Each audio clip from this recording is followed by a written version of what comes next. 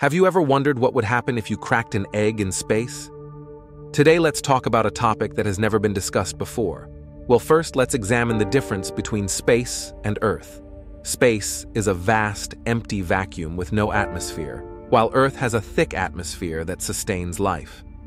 Space has extreme temperatures, ranging from freezing cold to scorching hot. This means that no life form can survive without a proper spacesuit. Without a spacesuit, your body is exposed to the vacuum of space. Your blood and bodily fluids would start to boil due to the lack of pressure. You would experience rapid decompression leading to swelling and severe tissue damage. Your lungs would collapse, making it impossible to breathe. The extreme temperatures in space would either freeze or burn your unprotected skin. Gravity in space is much weaker than on Earth, allowing objects to float freely, whereas on Earth, gravity keeps everything grounded. Okay, now let's see what happens when you crack an egg in space. Will it boil and be cooked? Will it vaporize into nothing? Or will it stay as it is and float on the endless space? Before we jump into the main part, make sure you guys hit the subscribe button and smash the like button to help us grow more. Inside the ISS, when you crack an egg, the lack of gravity dramatically alters its behavior.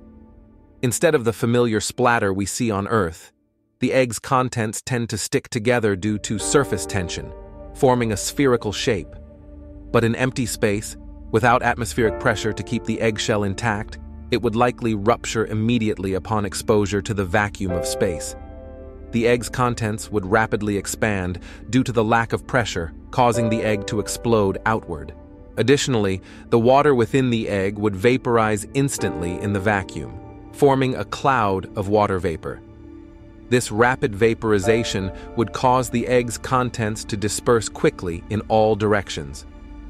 Or the water inside the egg starts to boil, but without gravity pulling the water downwards, the bubbles don't rise to the surface. Instead, they form all over the egg, creating a kind of boiled egg in a bubble effect. But anyways, this won't last long as it will vaporize.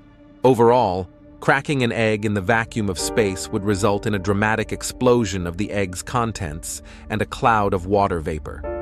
As this theory is yet to be proved in space, these are the results that we can expect now. So that's what happens to an egg in space as per our research. Hope you guys liked the video and comment down the video we should do next. Till then, peace out.